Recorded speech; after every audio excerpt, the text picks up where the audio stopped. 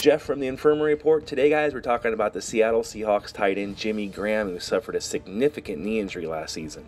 He currently has an ADP of 12 amongst tight ends. The big question surrounding Graham entering this season is when will we see him on the field and how effective will he be when we see him? Well, we're going to bring in the fantasy doctor who's going to clear that up, break down that injury, and give you his expectations for Graham this year. Doctor. Seahawks tight end Jimmy Graham is, is facing a big recovery off of his patellar tendon tear that he sustained in November of last year.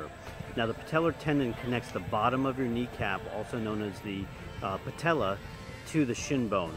And it's a critical tendon that allows your knee to extend when you are running or even walking.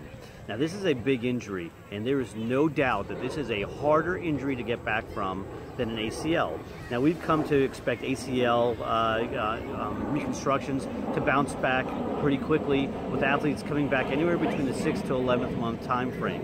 Patellar tendon ruptures are an entirely different animal, and although Russell Wilson seems to think that his tight end will be back at the opening day, I have serious doubts that that's really going to happen these guys really take a lot of time to get back their strength, their mobility, and their quickness to be able to get back onto the NFL playing field. So I think that this is really going to be an October or November timeline rather than a September line.